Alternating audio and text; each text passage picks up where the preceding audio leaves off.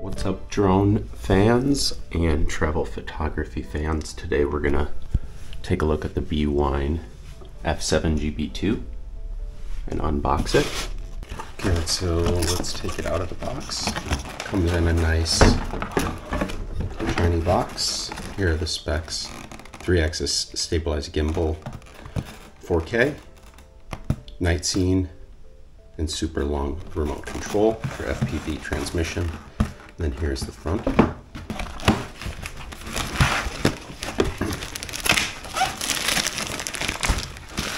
Nicely wrapped zip bag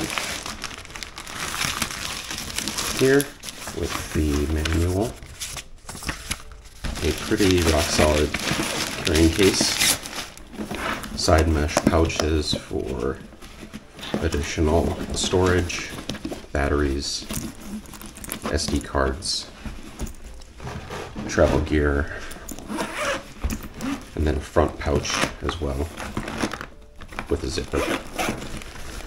Uh, nicely padded Velcro here. And then let's take a look at the drone. It does feel a little flimsy. Um, does kind of have a similar design as competitors, DJI. Um, the plug is in the back. Then here you can see the 4K camera.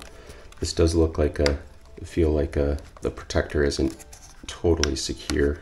Yeah, see, as you can see, this just kind of pops in and out. Uh, has more of a plastic sort of feel on the bottom here.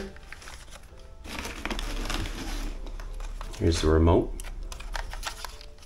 Yeah, this is very light. It does have more of a plastic feel rather than sort of that uh, robust uh, material, more like a, a toy a bit. And then here you can put your phone to connect to the controller. Here's the battery for charging, as well as additional blades, similar to the Flymore combo. Uh, overall, I have, it, I have to give it a test run. Overall, the initial setup and unboxing, the feel of it's good. Um, we'll have to check out the camera quality a bit further in testing, as well as like the usability of the mobile app and remote controller. So here we have both the DJI and the Bwine compared.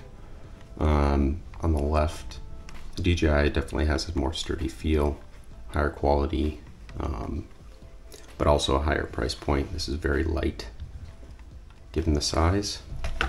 And then the remote itself, I do like how small this remote is um, for Bwine.